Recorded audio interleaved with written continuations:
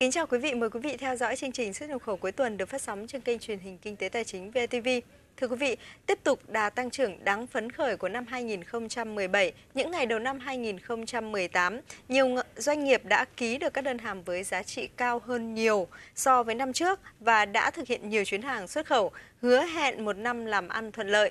Đây được cho là một tín hiệu lạc quan bằng sự khởi đầu đầy hy vọng cho mục tiêu của các ngành hàng. Trong chương trình xuất nhập khẩu cuối tuần ngày hôm nay, chúng tôi sẽ đưa đến quý vị những nhận định về vấn đề này.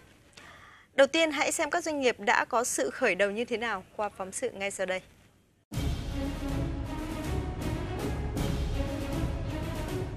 Ngày 14 tháng 1 vừa qua, tại cảng Cát Lái, Hiệp hội Chế biến và Xuất khẩu Thủy sản Việt Nam VASEP đã cùng các doanh nghiệp chứng kiến lô hàng thủy sản đầu năm 2018 chính thức lên đường xuất khẩu. Lô hàng đầu tiên của ngành gồm 20 tấn tôm đông lạnh sang thị trường Canada trị giá hơn 290.000 đô la Mỹ, 20 tấn cá biển đi Mỹ trị giá hơn 216.000 đô la Mỹ và 22 tấn cá tra phi lê đông lạnh sang thị trường EU trị giá hơn 84.000 đô la Mỹ. Đây là một sự kiện quan trọng của ngành hàng, ghi dấu một tín hiệu lạc quan ngay từ đầu năm. Lần đầu tiên, VASEP đã phối hợp cùng với Tổng công ty Tân Cảng Sài Gòn tổ chức sự kiện xuất khẩu lô hàng thủy sản đầu năm 2018. Sự kiện này mang ý nghĩa cho một khởi đầu thuận lợi của xuất khẩu thủy sản Việt Nam năm 2018. Không chỉ thủy sản, xuất khẩu trái cây cũng có nhiều tín hiệu vui. Đơn cử như công ty trách nhiệm hữu hạn thương mại dịch vụ xuất nhập khẩu Vina TNT, theo đại diện doanh nghiệp này cho biết, khối lượng đơn hàng đặt trong tháng 1 2018 đã tăng gấp đôi so với tháng 12 2017 với các thị trường mới như Canada, Đức, vân vân. Thì 2018 doanh nghiệp cũng đặt mục tiêu đó là tăng là 40 đến 50 phần trăm. Thì chúng ta sẽ có những cái lợi thế là doanh nghiệp đặt ra là bây giờ doanh nghiệp à, đang tập trung đầu tư và phát triển theo cái ờ, những cái thị trường khó tính. Tại vì khi đó người ta sẽ đổi khó tính thì doanh nghiệp khi đáp ứng được đó thì con đường đi doanh nghiệp nó sẽ phát triển rộng mở hơn.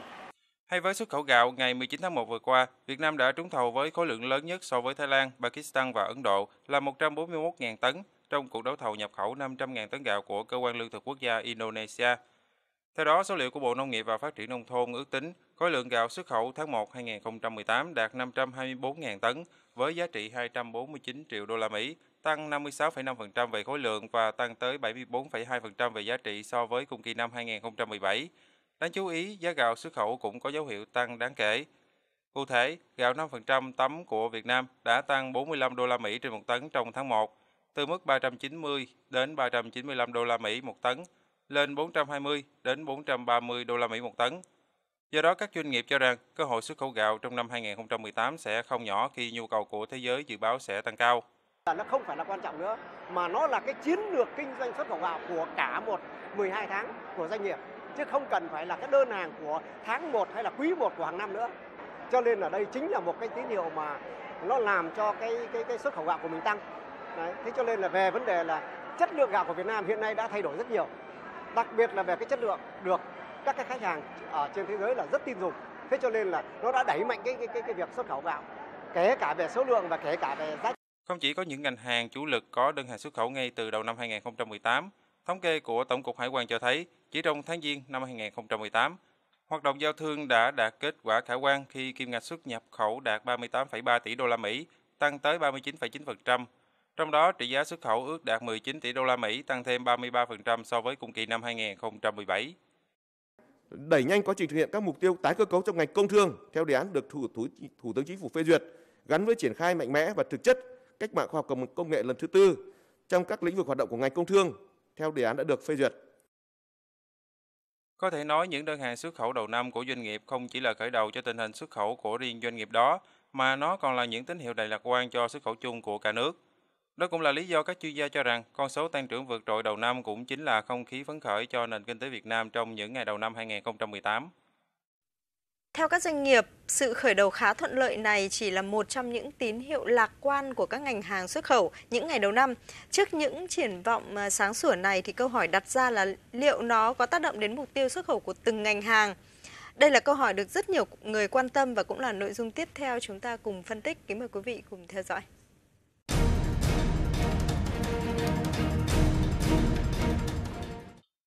Theo Bộ Nông nghiệp và Phát triển nông thôn năm 2018, ngành thủy sản đạt mục tiêu xuất khẩu 9 tỷ đô la Mỹ, tăng 5,3% đến 5,8% so với năm 2017. Con số này nhằm đạt mục tiêu xuất khẩu toàn ngành nông nghiệp theo chỉ đạo của Thủ tướng Chính phủ là 40 tỷ đô la Mỹ.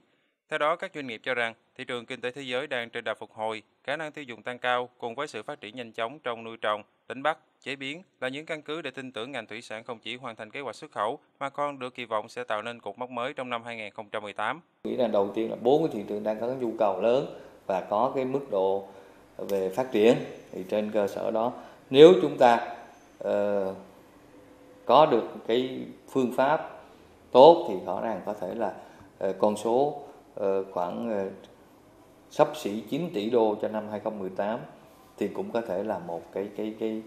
cái hiện thực. Chúng tôi cho rằng đây là những cái thuận lợi rất căn bản. Như vậy chúng ta đồng lòng cả trục chính phủ, trục doanh nghiệp và trục toàn dân tin tưởng mục tiêu đặt ra cho ngành thủy sản năm nay chúng ta sẽ có cơ hội đạt và vượt. Không chỉ riêng ngành hàng thủy sản, theo các doanh nghiệp, ngành gỗ nhu cầu đồ gỗ nội thất trên thế giới tăng trưởng, trong khi sản xuất đồ nội thất là thế mạnh của doanh nghiệp Việt Nam. Bên cạnh đó, những thuận lợi về luật lâm nghiệp, các hiệp định FTA mới được ký kết sẽ nâng mức thuế xuất khẩu nông sản thô, sự ổn định về chính sách và sự quan tâm của nhà nước đến ngành gỗ và lâm sản sẽ thúc đẩy ngành gỗ tiếp tục phát triển. Do đó, khả năng thực hiện mục tiêu xuất khẩu lâm sản năm 2018 đạt 9 tỷ đô la Mỹ, trong đó gỗ và sản phẩm gỗ chiếm hơn 8,5 tỷ đô la Mỹ, được cho là không quá xa xôi. Thì như vậy không có lý do gì năm nay mà chúng ta phát triển dưới 12,9 được. Nó phải là 13 nhân bậc 13,5%. Nếu mà 13,5% thì năm tới chúng ta sẽ có 9 tỷ 040 triệu. Đó là cái năm tới đó.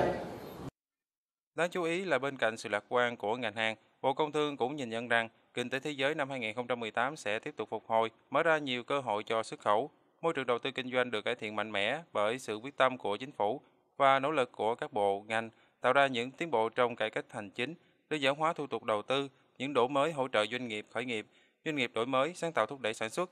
tạo thêm nguồn hàng cho xuất khẩu vân vân. Đây là những cơ sở để đạt mục tiêu tăng trưởng xuất khẩu 10% trong năm 2018. Để một là công chí hoàn thành xuất sắc toàn diện các chỉ tiêu 2018 đặt nền tảng cao hơn, lâu dài hơn cho hội nhập phát triển của đất nước. Nhất là nhất là trong thời đại khoa học công nghệ. Tuy nhiên, Bộ Công Thương cũng lưu ý rằng xuất khẩu năm 2018 sẽ tiếp tục đối mặt với một số khó khăn, thách thức, cụ thể như kinh tế thế giới còn nhiều yếu tố bất ổn, tăng trưởng được dự báo không ở mức cao, chính sách kinh tế và thương mại của các nền kinh tế lớn như Hoa Kỳ, EU, vân vân có thể thay đổi nhanh và có tác động đa chiều. Các nước nhập khẩu đặt ra ngày càng nhiều rào cản kỹ thuật, rào cản thương mại. Do đó, dù lạc quan nhưng các doanh nghiệp và ngành hàng cũng cần phải thận trọng trong quá trình thực hiện mục tiêu đề ra.